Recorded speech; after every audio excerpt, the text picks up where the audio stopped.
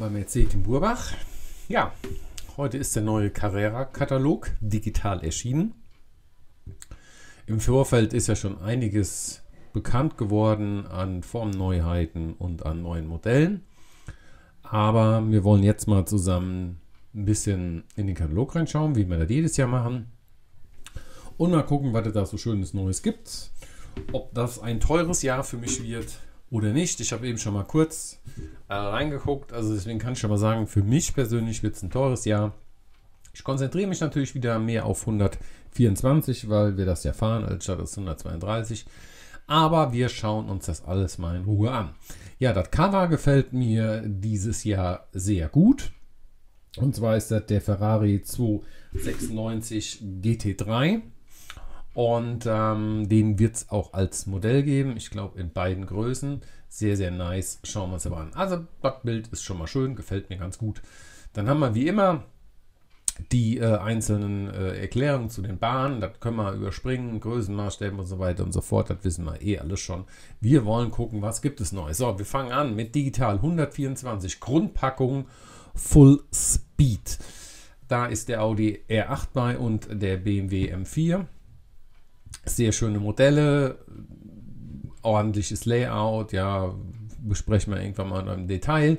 Aber es fällt auf, das ist die einzigste Grundpackung, die zumindest im Katalog steht. Ja, wir gucken gleich mal auf der Homepage. Da gibt es nämlich zum Glück noch ein bisschen mehr, ist nicht alles drin. So, und jetzt schauen wir auf die Modelle. New gekennzeichnete Modelle hier alle sind auch new und wir schauen mal drüber. So, wir haben als erstes den Audi R8 LMS GT3 Evo 2. Den kennen wir schon vom Modell her. Gibt es jetzt in der Valentini Rossi Variante. Dann haben wir wieder einen BMW M4 GT3 in der Valentino Rossi Variante. Also beide Valentino Rossi Variante. Sprechen mich persönlich jetzt nicht so an. Aber wir haben ein M4 GT3 als Safety Car. Ja, also mit oberen Balken. Safety Car, ich liebe ja Safety Cars. Letztes Jahr hatten wir die Corvette als Safety Car. Die war allerdings nicht so schön, finde ich, in schwarz nur. Ich habe die ja dann noch ein bisschen verändert. Könnt ihr sonst mal am Kanal suchen. Ähm, und hinter Design, ob das jetzt endgültig ist, weiß ich nicht. Wir gucken gleich mal auf der Homepage. Also hier, also so sieht er irgendwie nicht so toll aus, aber vielleicht wird er da irgendwie noch anders. Dann haben wir wieder die Corvette, ist auch nichts Neues. Und jetzt fängt es schon an. Jetzt haben wir hier den Ferrari 296 GT3. Und das ist tatsächlich eine neue Form. Keine Farbvariante, komplett neue Form. Den gab es vorher noch nie. Und das ist schon ein extrem geiles Teil. Ähm, hier ist der, der vorne abgebildet worden ist, der Dubai, 24 Stunden Dubai. Den wird es halt auch geben. Definitiver Kauf für mich. Hier der AF Course, weiß ich noch nicht. Bin ich mir noch nicht so sicher, um ehrlich zu sein. Jetzt schauen wir uns aber mal den noch an und zwar im Original, weil dann kommt der noch viel schöner. Also zu 96er GT3 Ferrari und hier haben wir mal ein paar echte Bilder, ja. Und das Ding sieht mal geil aus. Also Hut ab, Helme auf, wie man so schön sagt. Also der ist mal richtig nice. Es werden sich die Gemüter da erhitzen oder die Geister scheiden, wie man auch immer was, weil das ist definitiv ein Modern Sportcar. Und ich weiß, dass viele von euch gar nicht auf diese Modern Sportcars stehen. Also auch der neue Audi R8. Viele fanden den nicht so toll. Ich finde den halt auch total geil. Ich finde diese Modern Sportcars extrem cool. Und da gehört definitiv auch der Ferrari 296 bei. Ja? Punkt aus Ende. Ähm, ja, also die, also der ist auf alle Fälle ein Kauf für mich, der ist auch auf alle Fälle ein Kauf für mich. Ja. So, gucken wir weiter auf die zweite Seite. Dann haben wir noch einen 911er RSR, auch immer ein beliebtes Modell in Porsche. Hm, man kann jetzt halt immer noch so schlecht sagen, ja, sieht nicht so, also ist das nicht so meins. Noch ein R8, wie gesagt, der neue Evo 2 sieht geil aus. Hier die Lackierung müsste man mal gucken, Bull, weiß ich auch nicht. Das ist der nächste Kauf, ja, also Red Bull Design das gefällt mir richtig gut, ist auf alle Fälle in der Einkaufsliste. Noch ein M4, also ihr seht schon, wir konzentrieren uns hier auf M4 und äh, R8 äh, und halt die neue Vormodell und die Corvette. Da ist der dritte Ferrari 296, also haben wir insgesamt drei mal den 296er, das ist schon relativ viel für eine neue Form, aber das ist schön und der ist natürlich auch Pflicht für mich, ja. BMW M1 Pro K Jägermeister Racing, der würde dann passen zu dem Zack Speed, der dieses oder letztes Jahr rauskam. Ja, dann kommt er natürlich bei, ist für mich auch ein Pflichtkauf. Ähm, dann haben wir wieder ein Ferrari 575. Das ist keine neue Form, weil den hatten wir schon 2005 und 2008 und 2015 in der Limited Edition. Aber den gab es halt lange nicht mehr. Von daher kann man sagen, ist es so eine pseudo-neue Form. Ich finde den allerdings vom Design her überhaupt nicht schön. Der gefällt mir überhaupt nicht. Aber das sind vielleicht welche, die ähm, mehr auf diese älteren Sportscars stehen. So, und dann haben wir noch den Porsche 917er mit einer neuen Farbvariante. Und die haben wir alle noch aus letztem Jahr. Jo, und das war es auch schon für die 124er. Also übersichtlich, aber trotzdem für mich ein paar Käufe.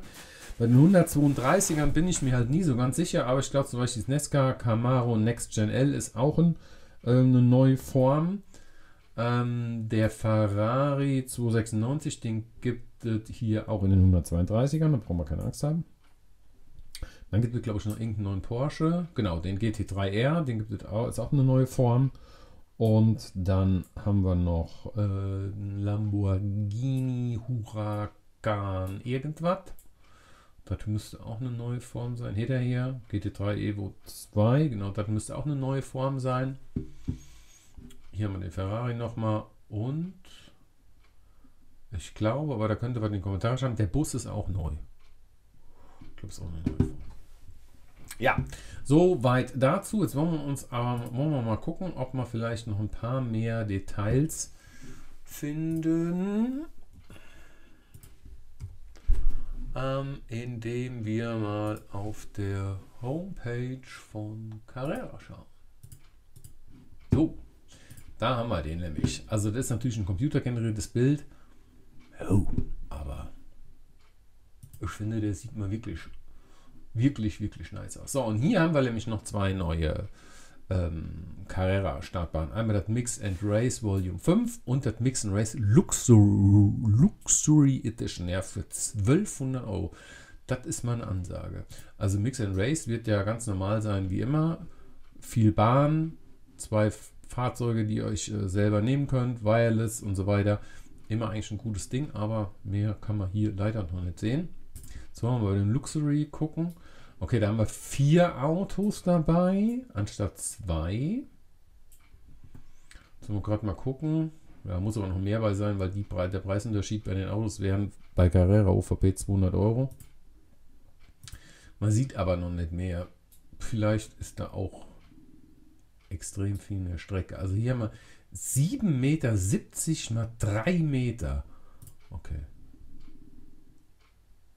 Da wird einiges an Bahn dabei sein, wobei ich denke, bei einem Aufbaumaß von 7 Metern, uh, da brauchst du definitiv schon Platz, ja. Also, ähm, ja, da muss man halt mal gucken, wie das da so wird. Ich wollte euch aber noch ein Bild zeigen. Achso, wir wollten uns ja, das wollten wir nicht. Gucken, ob wir hier noch ein anderes Bild für kriegen. Ja, ich sehe schon, ne, das ist irgend so ein frühzeitiges computeranimiertes Ding. Gut, sieht irgendwie noch nicht so schön aus. Gut, muss mal gucken, wenn wir da die ersten Bilder irgendwie mal kriegen. Äh, wie das dann genauso aussieht. Aber so, der war auch noch nice. Also das ja auch kein echtes Modell dann, aber der sieht schon geil aus. Ja. Also ich bin ja ein Fan von ganz vielen Aufklebern und die acht haben tatsächlich alle so geil gehabt. Und jetzt mit Red Bull, ja, der ist auf alle Fälle mir. Ja, das ist definitiv so. So, aber jetzt wollen wir noch gucken, weil wir wollen noch eins nicht vergessen. Und zwar, ich habe da bis jetzt noch nicht so viel zu gesagt, das ist das Carrera Hybrid. Ja, also für die, die nicht wissen, Carrera und Sturmkind, das Sturmkind, das sind die, die dieses Drift gemacht haben.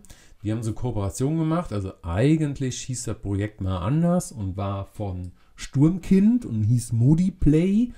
Dann haben sie sich mit Carrera zusammengetan, aus verschiedenen Gründen. Ob das jetzt gut oder schlecht war, will ich hier gar nicht diskutieren. Wird sich irgendwann halt auch noch mal zeigen.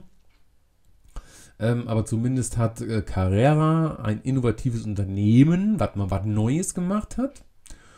Und Sturmkind hat einen finanzstarken Partner mit einem breiten Marktzugang, wollen wir einfach mal so sagen. Ja? Und ich hoffe mal, ähm, dass das gut wird. Und interessanterweise finde ich den Preis extrem interessant. Also hier in der Vorbestellerei 150 Euro für eine Strecke mit zwei Autos, scheinbar mit zwei Porsche. Das ist halt auch so was. Lizenzen liegen da bei Carrera. Das macht die Sache natürlich ganz, äh, ganz gut. Und dann ist da noch ein zweites Set. Das ist quasi so ähnlich. Zu weit gesprungen. Äh, quasi so ähnlich. Wo habe ich denn jetzt? Wo ist das denn jetzt? So ähnlich halt mit zwei anderen. Da. Mit äh, zwei anderen Autos. Kommt aber auch erst Ende des Jahres. Also wurde halt immer wieder verschoben, wieder zu ist. Genau, das ist mit zweimal äh, Porsche 911, schätze ich mal. Ähm, vom Grundsatz her ist das so, ähm, ihr habt eine freie Bahn ohne Slot, ihr steuert mit einer App und es soll halt realistisch sein, so wie das bei Drift auch war. Ja? Also Beschleunigung, Bremsverhalten, Motorengeräusche und so weiter soll halt realistischer sein wie bei einer normalen Slotbahn. Auch da scheiden sich total die Geister. Ich finde ein sehr interessantes Projekt. Ich fand auch Drift eigentlich ganz cool, aber ich fand es einfach zu kompliziert, beziehungsweise ähm, musste mal zu viel, für mich zu viel Zeit reinstecken, um nachher vernünftige Ergebnisse zu kriegen. Also das System oder die Idee ist ja nicht neu, das gab es ja schon äh, häufiger. Das letzte, was ich hatte, dessen Namen mir jetzt wieder nicht einfiel, das funktioniert aber auch nicht so wirklich gut. Ähm, da glaube ich aber, wenn das äh, Sturmkind äh, mitentwickelt hat, dann wird das definitiv vernünftig funktionieren und wird Spaß haben. Ähm, Maßstab 1 zu 50 ist halt sehr klein, aber dafür kriegt man das natürlich auch viel besser aufgebaut oder viel schneller mal auf- oder abgebaut. Ja? Also ich bin da extrem gespannt und der Preis von 150 Euro für Bahn und zwei Autos finde ich extrem interessant. Ja, ob das jetzt so Pre-Dinger sind, weiß ich nicht. Ich persönlich habe damals beim äh, wie heißt er denn nochmal? Also wo das noch äh, äh, Sturmkind war, ähm, da wird das doch immer so gepatcht über so ein Ding. Und jetzt komme ich da auf den Namen nicht. Ist egal, auf alle Fälle habe ich da schon mal ein paar hundert Euro da investiert. Das heißt, ich muss mal gucken, ob ich jetzt ein paar Bahnen kriege, ja, die ich eigentlich gar nicht brauche oder so. Egal, auf alle Fälle, was ich damit sagen will. Ich halte euch da auf dem Laufenden. Und ich hoffe, ich konnte euch so einen ganz schnellen, kurzen Überblick über die neue Saison geben. Bis dahin, euer Zitin Burbach. Ciao, tschüss.